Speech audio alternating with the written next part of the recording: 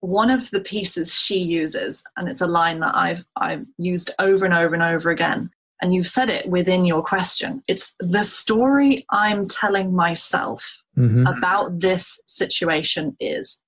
And the moment you write out the story I'm telling myself about this situation is, it becomes something that's up for negotiation. Mm-hmm. It doesn't necessarily mean it's true, and it doesn't necessarily mean it's not true. Mm-hmm.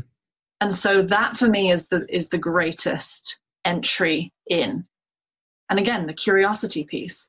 So if I'm telling myself a story that what I say doesn't matter and that I'm not important and that what I do means nothing.